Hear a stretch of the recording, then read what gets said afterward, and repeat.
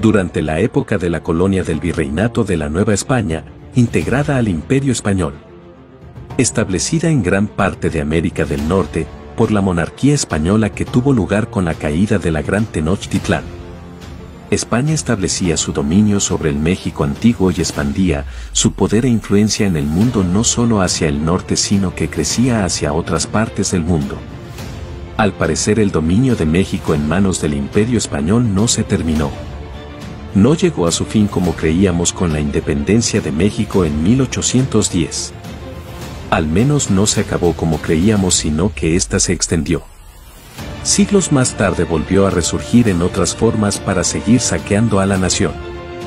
Durante siglos la corona española logró expandir su dominio. Al penetrar fuertemente en la política mexicana de la mano de los políticos corruptos traidores a la patria. El fin de la hegemonía española en México. La reconquista de México sobre España.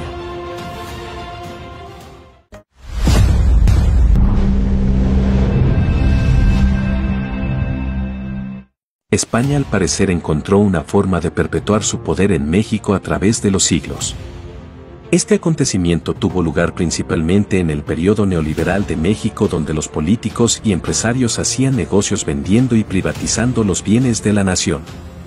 No obstante en tiempos de Salinas empezó la expansión de las empresas extranjeras sobre todo las españolas que fueron de las más beneficiadas en todo el periodo neoliberal pues estas eran las favoritas de varios expresidentes.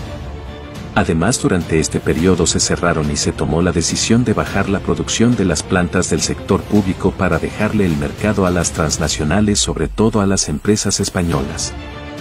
Fue una época en donde las grandes multinacionales españolas gobernaron y saquearon al país se convirtieron en un monopolio que se especializaba en vender cara la energía a los consumidores mexicanos en beneficio de las compañías españolas, como ya habíamos mencionado antes, fueron Repsol y OHL. Porque se subsidiaba y se pagaba bien el suministro eléctrico a las compañías españolas. En ese entonces, y como en todo lo demás se profundizó la corrupción, en la industria eléctrica. Y algunas plantas del sector energético nacional fueron destruidas y convertidas en chatarra. La corona española y el poder corporativo español habían logrado alinear a políticos corruptos traidores a la patria, y ponerlos a su disposición en favor de sus intereses, para así seguir explotando los recursos de esta gran nación, como en la época de la conquista pero la llegada del nuevo gobierno de López Obrador significó el fin de la hegemonía española en México en tiempos modernos. La postura nacionalista del presidente mexicano pone a temblar al poder empresarial español, y preocupan al gobierno español no por el pasado sino por el presente. La corona española y las empresas españolas están siendo presionadas por el gobierno mexicano ya que ambas partes han actuado como mediadores y cómplices del robo de los bienes de la nación durante la época del saqueo. Es bien sabido que el presidente de México, Andrés Manuel López Obrador, AMLO, mantiene constante una fijación con el pasado y especialmente con España y el papel de los conquistadores que llegaron al territorio que hoy conocemos como México. Este año se cumplen 700 años de la fundación de la capital azteca, 500 de la conquista y 200 de la independencia de España. La corona española siempre ha estado en el punto de mira de AMLO. En junio de 2020, arremetió de esta manera contra España. Yo lamento lo que está pasando en España, que no se informa y no se dice nada.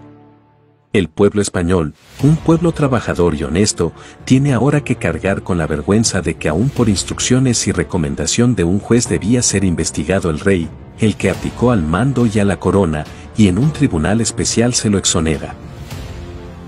En septiembre del mismo año, el presidente mexicano volvió al tema de la conquista, no descartamos de que haya de parte del gobierno español, de la monarquía, un cambio de actitud y con humildad se ofrezca una disculpa, un perdón, pensando en dejar atrás esa confrontación y hermanarnos y ver hacia adelante, pensar en la reconciliación, pero considero que no es en vano que esto se pueda llevar a cabo. La política energética mexicana es la que asusta a España, sobre todo, la reforma eléctrica.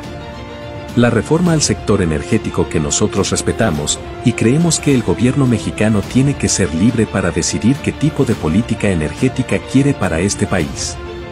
La agenda energética del gobierno del presidente Sánchez es diferente a la del presidente mexicano, AMLO piensa en invertir en refinería y España habla del Acuerdo de París. Esta nueva reforma eléctrica pone boca abajo el sistema anterior.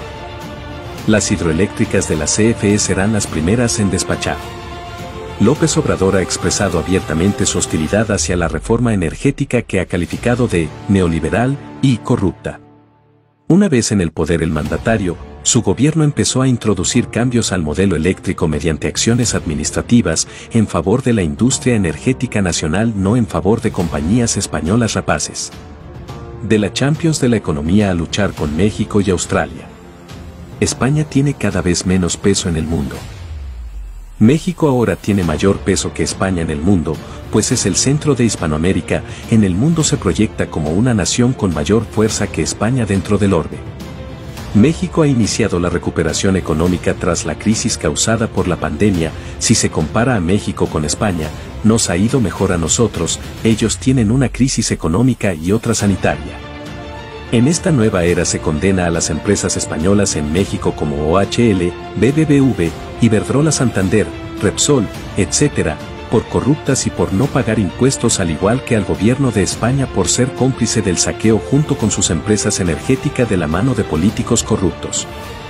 Es una vergüenza que México siendo un país mayor al de España por su tamaño e influencia, haya sido sometido por dicho país todo porque expresidentes corruptos subordinados del poder español lo hayan permitido.